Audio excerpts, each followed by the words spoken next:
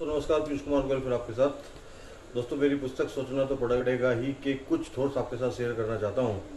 वो ज़्यादा बेहतर है, आप अपने आप को परिस्थितियों के अनुरूप ढाल लें, नए की परिस्थितियों से कहें, मेरे अनुसार चलें। अवसर आते हैं, पर हम समझ नहीं पाते। भाग्य साथ नहीं दे रहा, नई परिस्थितियाँ अनुकूल नहीं है। परीक्षा के दौर से गुजर रहा हूँ, ऐसे लोग धैर्य के प्रतिबिंब हैं। ज़िंदगी में हर चीज़ का महत्व है। सोच, धैर्य, कार्य, क्षमता, विश्वास, लक्ष्य, निर्णय, कौशल इत्यादि। दोस्त, कुछ ऐसा कर लो जो दूर तक जाए और देर तक याद किया जाए।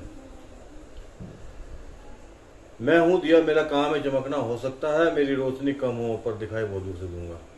सिद्धांत सिद्ध करने पड़ते हैं और सिद्ध करने के लिए परीक्षा देनी पड़ती है। और ईमानदारी इम्तिहान लेती है। बेईमानी ज़्यादा दिन ज़िंदा नहीं रहती दोस्त। अच्छा पाना है तो सच्चे बनो। समय हमें विषम परिस्थितियों में सम रहना सिखाता है। इच्छाएँ इतनी मत पालो की ईर्ष्या होने लगे। लक्ष्य, सकारात्मक सोच, लगातार प्रयास, कड़ी मेहनत, आप सफलता की ओर बढ़ रहे हैं। घरना और घमंड को घर में घुसने मत दो जिसमें तुम रहते हो। जिन लोगों को दूसरों की सफलता नहीं देखी जाती, वो अपनी सफलता को भी नहीं देख पाते हैं। जिम्मेदारियों से बचकर इच्छाएँ पूरी करना यह संभव नहीं है। दोस्ती दो तरह की होती है, एक वो जो दूसरों से की जाती है, दूसरी वो जो अपने आप से की जाती है।